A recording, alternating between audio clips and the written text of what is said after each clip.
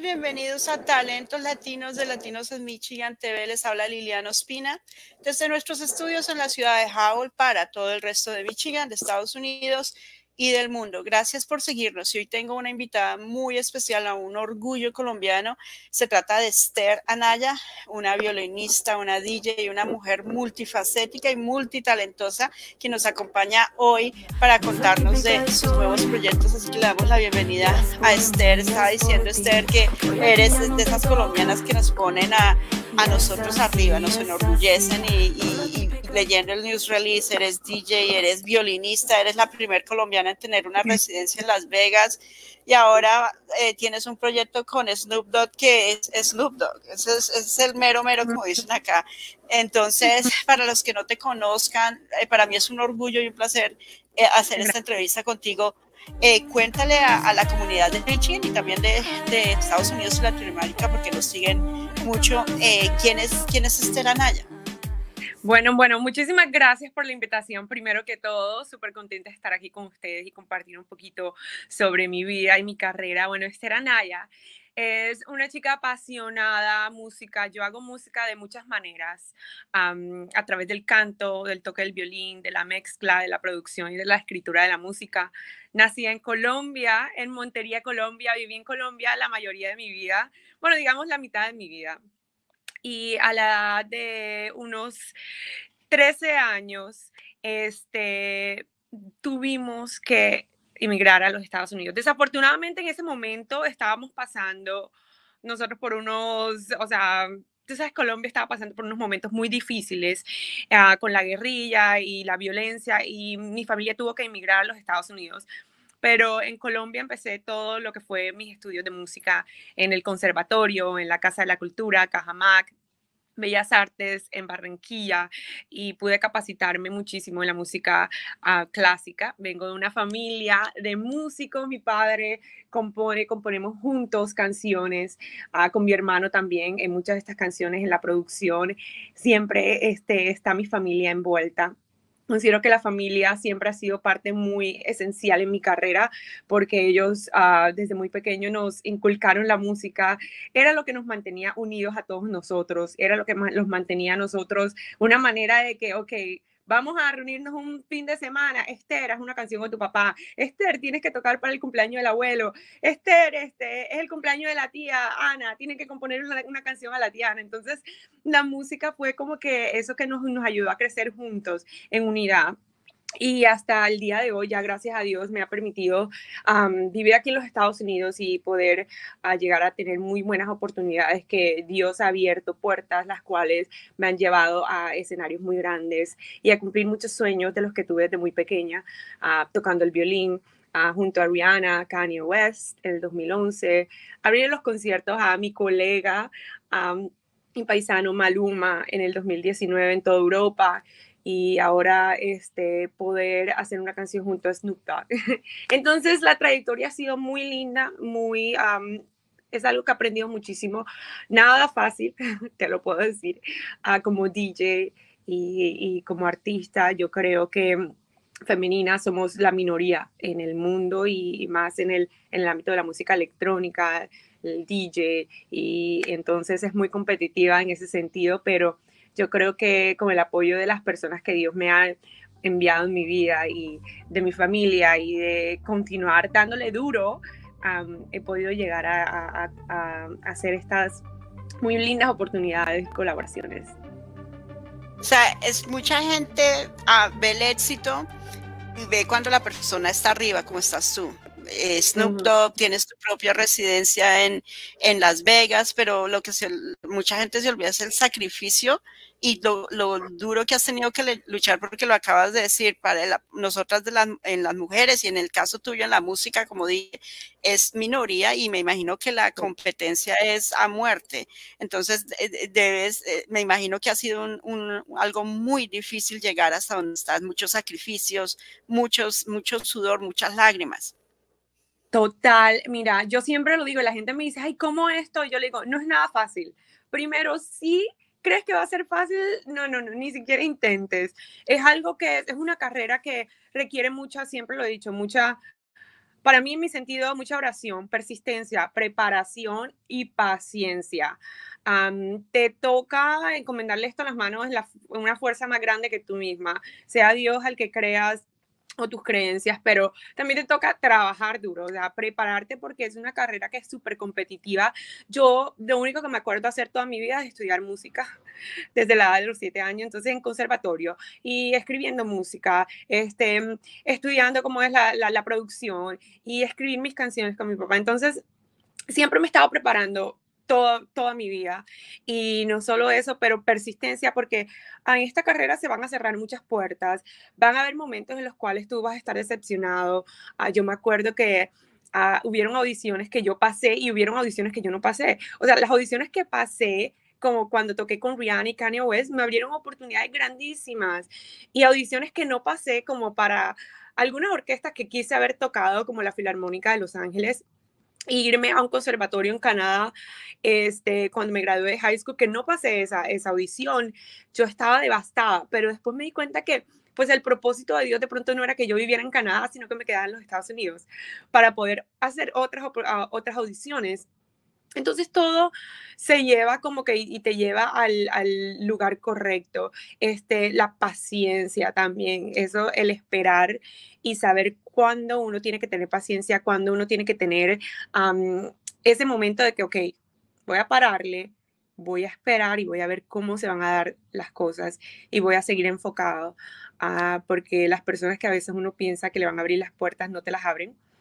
uh, te las cierran y unas decepciones muy grandes, pero uno continúa, la vida sigue y siempre van a haber en esta vida cosas mejores que Dios tiene para uno. Como dices, los tiempos de Dios son perfectos y a veces las puertas, Dios le, cierra a uno una puerta y resulta que se le abren mil ventanas. Esa, ahí es lo que cuentas, esa, esa, tienes, eres una mujer de fe y eres una mujer muy, muy apegada o, con, con, mucho amor a tu familia. Y eso me parece súper bonito y me, me, imagino que y gracias a las enseñanzas de tus papás, es, que has sido mm. así guerrera, eh, la mujer que eres hoy, ¿cierto? Sí, no, total. Oh my God.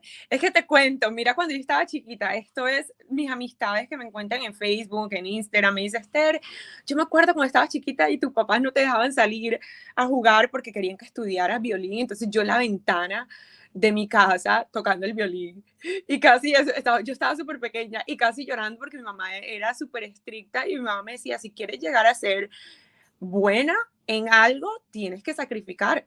Y ahora en estos momentos no puedes jugar porque tienes que practicar violín. Y yo era en la ventana, llorando, viendo a todos los niños jugando. Y toca el momento, bueno, ya pasó una, una hora, dos horas, ok, ya puedes salir a jugar. Entonces mis amistades me dicen, yo me acuerdo, Esther, cuando tú llorabas y que no querías practicar, pero mira, ¿dónde estás ahora? Y yo le digo, sí, mira, sabes que es súper bueno que uno tenga, así sea, algunos tenemos el privilegio de que sea un familiar, otros amigos, otros que sean personas que pone Dios en la vida de uno para que lo, cuando uno los mantengan a uno enfocado o lo ayuden en esos momentos que uno necesita un poco de disciplina. Entonces, gracias a Dios, mi madre fue la que, como típica colombiana, mamá colombiana, ustedes sabemos que los padres son estrictos, entonces ella era así, ok, puedes salir después de tal hora, puedes hacer esto después de tal hora, entonces yo creo que le doy muchas gracias a ella por eso. Y sí, las mamás colombianas son bravas con la chancleta, la correa. ¿Cuántas veces? Es que es súper chistoso porque a mí me salió chancleta una, una vez hasta estaba, estaba en la cocina de mi mamá, es que esto le pasa a todos, o sea, somos latinos, tú sabes, somos expresivos, como expresivos, y me acuerdo que me iba a la escuela y le dije algo a mi mamá, mi mamá estaba cocinando algo, y salió el, el, el coso, el, el, con, lo que revuelves la comida. El, molinillo? El cucharón. ¿Cuál será el molinillo? Ah, el cucharón. el cucharón. Y bueno, y yo dije algo, me iba a la high school y me, me agarró el cucharón con el que estaba haciendo, me lo tira, ¡pa! Y me pasa el pelo, el cucharón. Y me dejó el pelo con la comida y me dice, no te vas a, no te vas a limpiar el pelo, te vas a la escuela con el cucharón.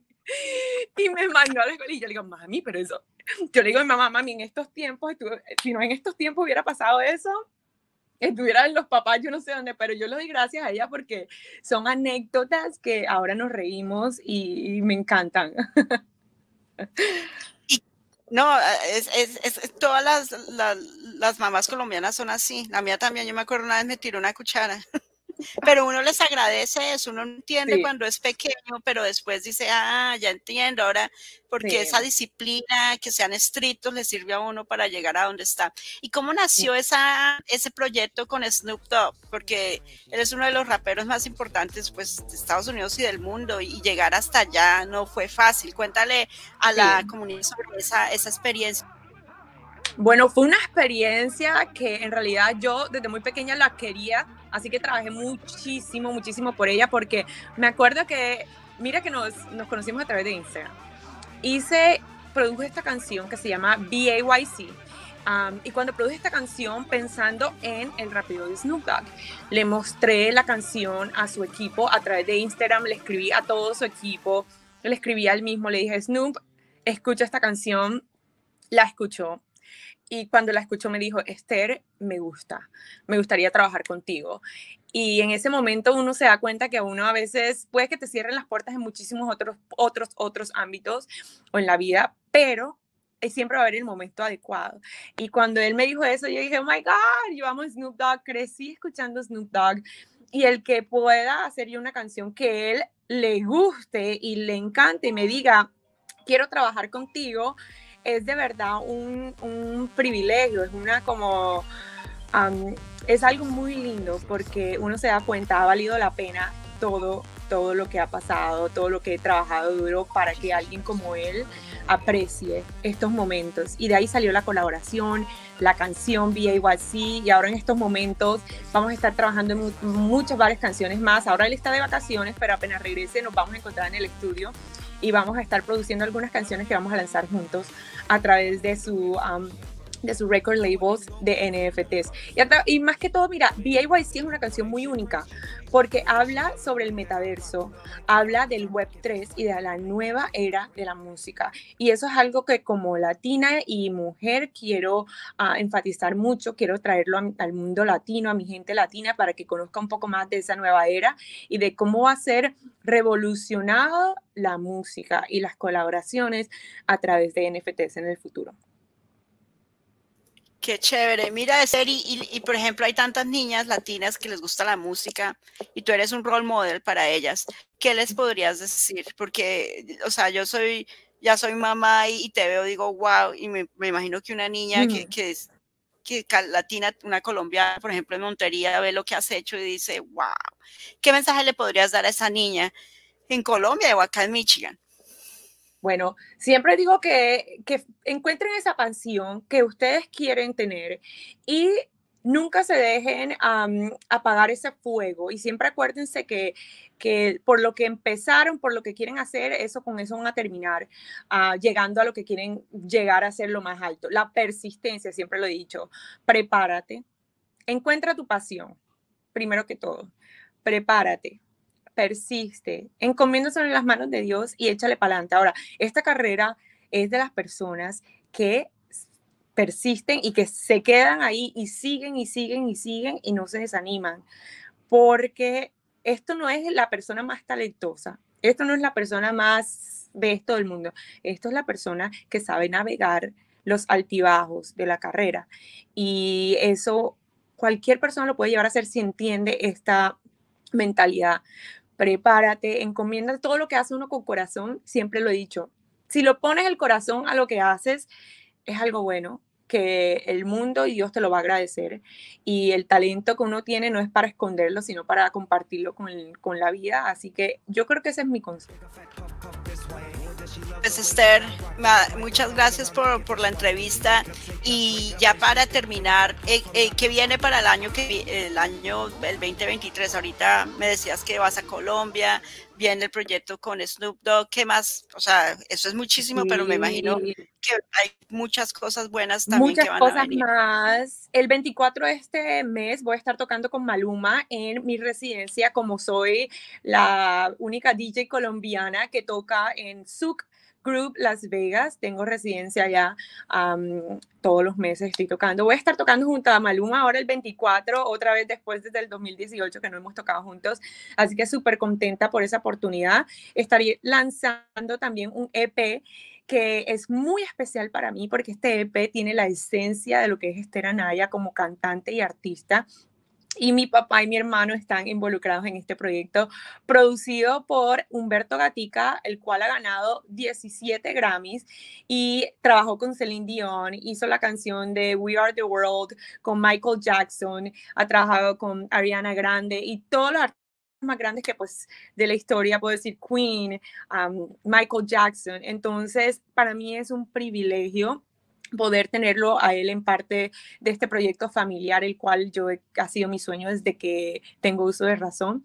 Y bueno, se viene muchísima música porque todos los meses estoy lanzando música a través de la residencia que tengo en Las Vegas, en Ayu, Night, uh, Day Club, en Suk um, Nightclub. Así que cuando vengan a Las Vegas me pueden checar ahí mensualmente, ver mi show y ver mucha más música. Pues Esther, gracias. Gracias por la entrevista y de nuevo qué orgullo y, qué placer pues poder hablar contigo y conocerte. Muchas gracias.